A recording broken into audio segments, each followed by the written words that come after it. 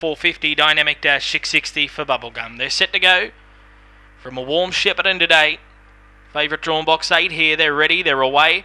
And it jumped out well, Alicia Jewel, showing speed. Culquin Jake. And it'll lead it early, but Alicia Jewel moved up to join it. Two lengths to Bubblegum third. Fourth Dynamic Dash and around them Lost and Lonely.